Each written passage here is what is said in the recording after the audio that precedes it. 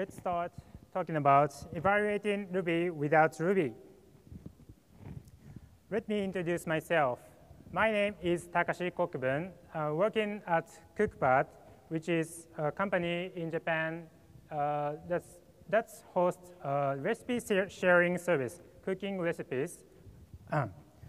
I'm working as a developer productivity group at Cookpad Inc. Um, the recipe sharing service is Rails application, and we provide a development environment for Rails applications. Uh, today's topic is Ruby DSL.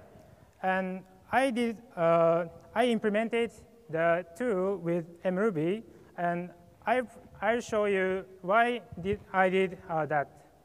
An introduction to mruby and two ways to build portable CLI apps configured by Ruby DSL. So first, uh, talking about Ruby DSL. Uh, DSL is domain-specific language, which is a language specialized to a particular application domain. Ruby DSL is a DSL defined in terms of Ruby language. For example, this is Ruby DSL I'm talking about today, and this is uh, first package is uh, installs Nginx, and this can work in both CentOS and Ubuntu. And next section is service Nginx, and this enables Nginx at startup or server and start Nginx process. As you can see, uh, installing Nginx and starting Nginx is abstracted away for, for uh, some distributions, and we, we can configure it with Ruby. And it's boring if we write this in JSON, and we, because you're a Rubyist, uh, you are happy to write this configuration. So how is Ruby DSL implemented? Have you ever implemented Ruby DSL? Thank you. Um, for example, uh, if you want to uh, evaluate this package nginx and returns package and nginx array. Uh, the implement, simple implementation is like this. Uh, defines DSL class that has package method, and it, uh, if when package method is called, it stores the uh, package name to result. And we can uh, get result from the DSL's result method. And uh, the more complex case, uh, if package has nested uh, uh DSL, like action, we specify action install, specifying install instruction to Nginx package. To implement this, you have to create package class, and you can evaluate the nested action API in package class, and you can uh, do that by instance exec uh, method. So how is Ruby DSL implemented? Usually, Ruby DSL is implemented with MRI using instance eval or instance exec, etc. But we wanted to evaluate Ruby DSL without MRI. Why? Let's have a look. The second topic is our motivation to uh, evaluate Ruby DSL without MRI. Uh, Ruby DSL use case at Cookpad. Um, we, uh, uh we developed uh, development environment bootstrap script for Mac OS and Linux. We use Mac, not only Mac OS, but also Linux distributions to develop web applications. We wanted to use Ruby DSL to simply describe operations for multiple OS distributions like uh, I showed you before. Uh, for maintenance costs, we use the same Ruby DSL as a server provisioning tool we develop and use, which is called Itamae. Itamae means uh, chef of sushi. Uh, so the DSL is the, uh, inspired by Chef, the provisioning, uh, server provisioning tool. For example, this is a DSL of Itamae. And first, uh, this, uh, this describes installing memcached and PostgreSQL. And this can, if you write this DSL, uh, you can install uh, memcached and PostgreSQL by Itamae to macOS. And also, you can install this to Ubuntu by the same DSL. But there is a problem.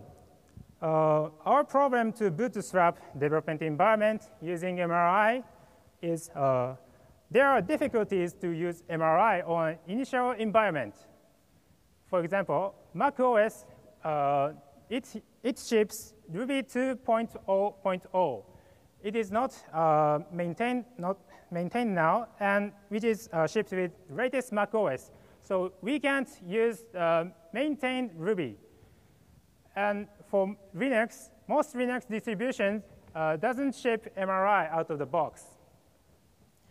So we don't, um, we don't want to manually install MRI prior to Bootstrap because uh, it is a first step of develop, uh, bootstrapping development environment.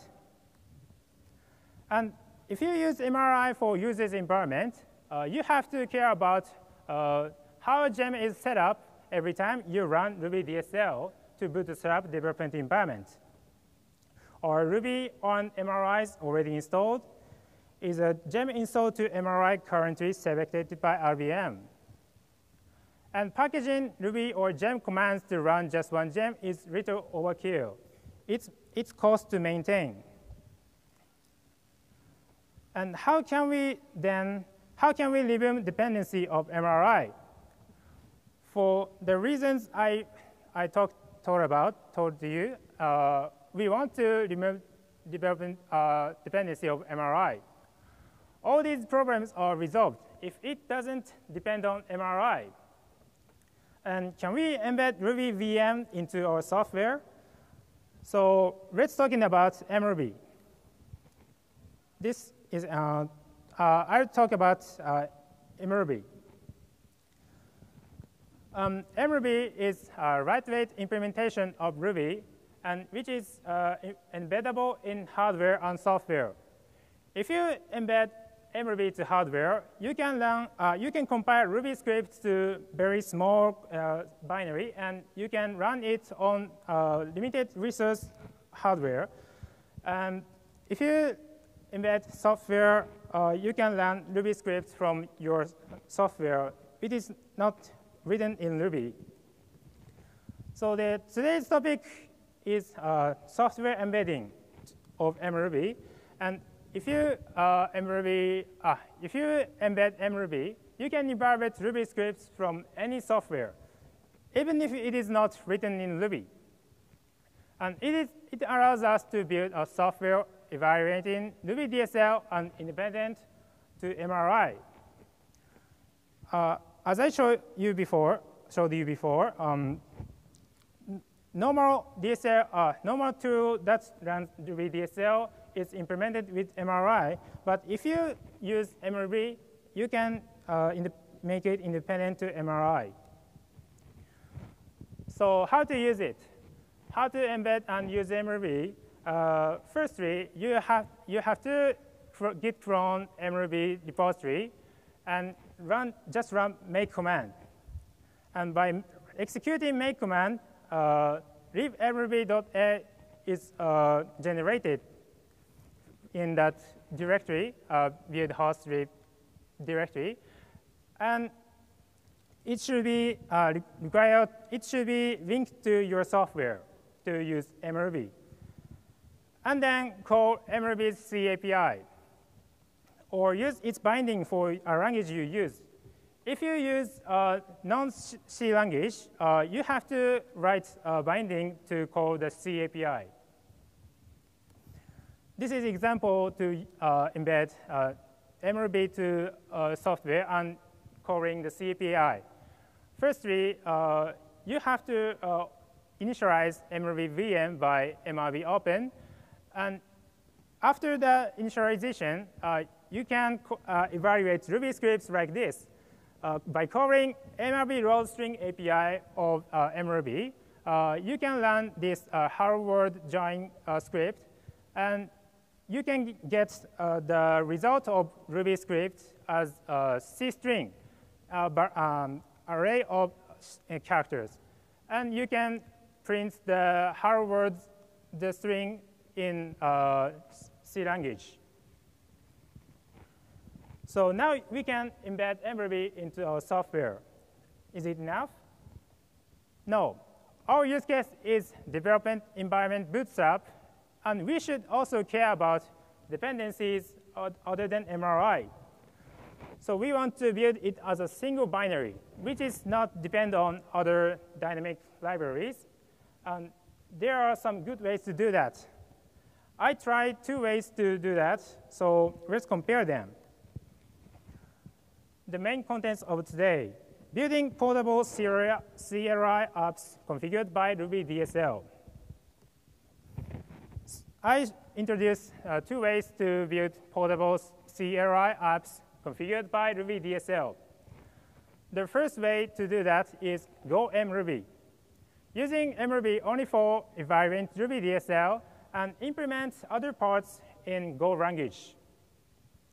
The next is uh, MRuby's CLI, which is introduced uh, today uh, by Eric. And this way, uh, I implemented both Ruby DSL and others using MRuby. So I experimentally re-implemented the tool I uh, introduced before, the which is a configuration management tool, uh, Itamae. So let's compare them. The first way to do that is Go mruby. Using Go, you can compile Go, Go uh, script into single binary. So uh, embedding mruby to Go language, uh, you can build single binary and you can uh, run Ruby scripts from the single binary. So the, this example is the, uh, using uh, Go MRuby, and which is called Itamae Go. You can see that a real example at my GitHub, Kokubun slash Itamae Go. How to run Ruby scripts from Go? Uh, first, you, uh, again, uh, you git clone MRuby and make ruby.mruby.a, and you, if you want to use libmruby from GoMruby, uh, you have to copy the libmruby to GoMruby's directory. And importing the directory and call MRuby APIs by Go language. This is example of using uh, MRuby from Go language. First, you have to uh, initialize MRuby VM like the C language, and uh, MRuby load string is uh, in Go, which is a load string in Go language. The, you can do the same, same thing in C language, a hardware join script, and you can evaluate that and get the Go string from the uh, road uh, string value API. So how to implement Ruby DSL in Go? If you use Ruby for all implementation, you don't care about uh, the converting the data, data, data, structures, but to implement I operations in Go, it is necessary to get data from, for Go from an evaluation result of Ruby I implemented the method for Ruby in Go language. First, um, define, define method uh, it, is called, it is necessary to call define method. And uh, first, uh, define function uh, named package. This, it is uh, empty for now, and that returns new. And then for simple case of the DSL, we want to get the result of Ruby DSL evaluation, and the result is the right, right, uh, package resource struct. We can get package, package resource struct and its name from this API. And the complex case, uh, then uh, if block is given to the package DSL, uh, the argument is uh, the argument is increased to two. So the checking by checking arguments, argument, the number of arguments, and uh, the co calling uh, initializing a package package class and call the block to, by instance eval and calling the methods uh, attributes and actions or and the other attributes, you can get the result of DSL evaluation. Um, the package is uh, implemented uh, in uh, uh Ruby. Um, you can define any, any class in Ruby by uh, MRB load string. So this package package.new was uh, defined in Ruby. but as you can see, it was a little hard to maintain. Writing bridge to connect Ruby and Go words is really boring. And checking errors for all Ruby method calls is boring. Like um, uh, all, all, all method calls in this example uh, returns uh, underscore, but in real, in, in real use case, you may check uh, the all errors from all method chains. It's very boring. And required to use three languages because uh, uh, to define package class, you, you have to write Ruby and uh, the conversion is Go language. And MRBGEM is, uh, the base of MRBGEM is C, so you have to use three languages for maintain, maintaining this library. And you need to prepare environment for cross-compiling by yourself. The, the next example has a very useful uh, environment for cross-compiling, but if you use MRuby, Go MRuby, uh, there are so few examples using this. So this is hard to cross-compile and linking uh, MRuby to the Go script and cross-compiling it. But why did we need Go language? Uh, why did I why I choose Go language was the purpose of that it was uh, to make it as a single binary and to implement IO operations for developer environment Bootstrap. Um, in this case, uh, other, uh, other parts of uh, MR, uh, sorry, Ruby DSL is, all, all other parts are implemented in Go language. So it is very easy to implement IO, IO operations because there are many package, sorry, standard libraries to implement IO operations in Go language. And so can we achieve them without Go language?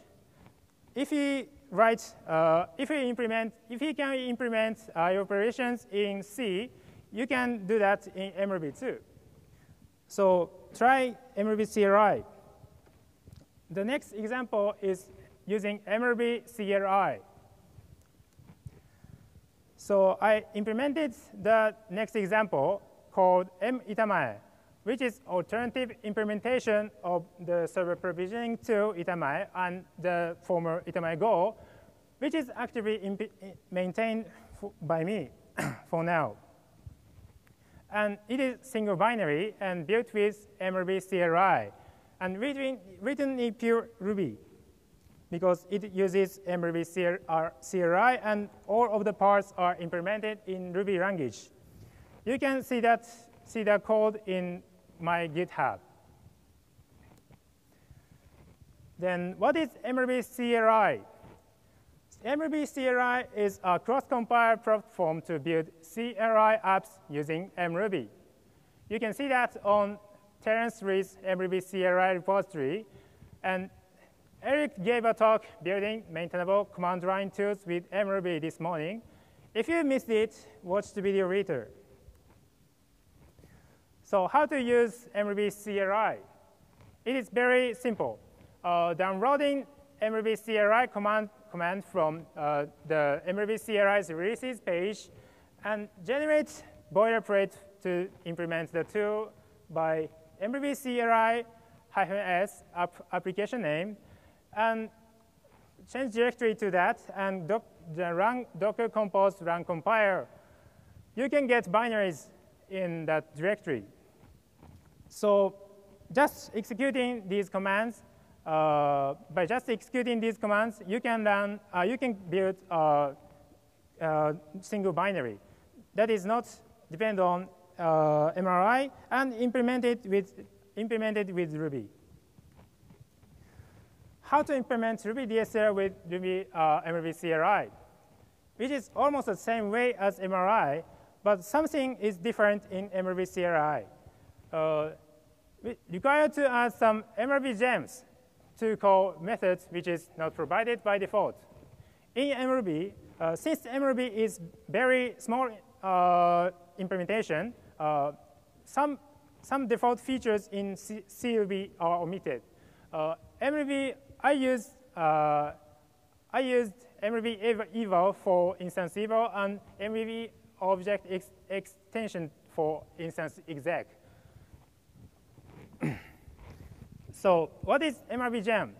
It is uh, like Ruby gem for MRI, but unlike Ruby gem, uh, it's comp uh, compiled together when building MRuby. So the Docker Compose run compile, uh, when you execute it, uh, MRuby gem is compiled to the same into the same binary. So you can use it without adding dependency to the binary. And some of built-in features in MRI are separated to MRB gem and MRuby. So if you miss some of the features in MRuby, uh, you can search it from MRB gems. um, to implement the uh, server provisioning tool, uh, since it was implemented originally in Ruby, uh, I, I wanted to uh, port existing standard libraries or Ruby gems to MRB gem. It's very easy when they are written in Ruby because most features required by Ruby programming, except keyword arguments are available at existing MRB gems. And I created uh, some MRB gems to implement mitamae, uh, which is sharewars and hashi gem. then, but uh, if the methods are not implemented in Ruby, it is a little hard to use that. Uh, if uh, the method is written in C, uh, you have to write C to implement the MRB gem. Uh, some of I.O. operations in MRB are already existed, but uh, I wanted to use capture standard out and the standard error that, the exit status separately. Uh, there are no Open3 library and kernel spawn method. So it is very hard to do, achieve the uh, capturing standard out and standard error and exit status at the same time. Uh, and it is necessary to write C, implement, C language to implement kernel spawn command, uh, spawn method. This is the implementation of spawn method in uh, my MRB gem Open3, uh, MRB Open3. Uh, first, we, uh, you, this method, this function calls fork, and it uh, redirects standard out and standard error. So as you can see, uh, this implementation is very limited use case of spawn command, uh, spawn method. Original spawn method has very, very, very uh, various uh, options, and uh, it is hard to implement all of the features. So I implemented spawn, original spawn for this MRB Open3. And writing the, writing the message in C language, uh, writing the message in C language, we, we could uh, build uh, Open3 capture3 method with using the, using the API. As you can see, uh, it, it, calls out and error option uh, in string, but uh, it is only, the spawn method has only these methods, these options. So it was a little easier, but the spawn method is incomplete. Uh, so you may, if you may not familiar with uh, C language, you think it's hard to implement apps with MRB CLI. Um, I think yes, it's hard a little when the necessary MRB gems are absent. But there are great merits to build apps using MRuby CLI. The first merit is uh, you can distribute applications easily. That single binary are not depending on user's environment, like gem command or Ruby command, and which can be cross-compilable easily by the Docker file provided by MRuby CLI. The next uh, merit to using to use MRuby CLI is the startup of the command is very fast. If you use uh, MRI to implement the original command, uh, it, it's called, uh, it takes uh, 700 milliseconds to execute very simple version command. But if you re-implement it in MRB, uh, since it's already compiled, it, uh, it executes very fast. it takes only two, 23 milliseconds. It is three, 33 times faster than original MRI implementation. And the best, uh, very important part is that uh, it's very maintainable. No bridging code like uh, Go and Ruby words, or I'm very happy to write all implementation in Ruby if you are a Rubyist. And this is conclusion. Uh, to simplify development environment bootstrap, I made a configuration management tool configured by Ruby DSL as a single binary using mruby, which is uh, on that GitHub. And there are two ways to build a tool configured by Ruby DSL as a single binary. If there is no reason to use Go language, use Go M, uh, use, uh, if there's a reason, uh, use Go, Go mruby. And otherwise, mruby CLI is recommended for that purpose. Uh, that's all. Thank you.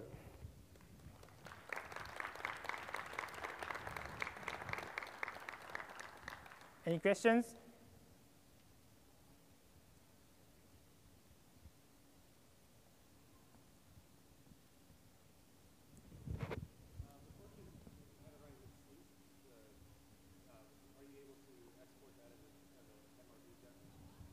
Um, I uh, the uh, the question was uh, sorry. Um, porting. Um, can you port? Uh, can I port the part I write, write in C language to MRBGem. Um, I exported it as MRBGem uh, uh, MRB Open3. Um, since it, it is uh, the spawn method, spawn method is in uh, is used only by MRB Open3 library. Uh, I I uh, I implemented in it in the MRB Open3 MRBGem. So it is already ported to MRBGem. No other questions?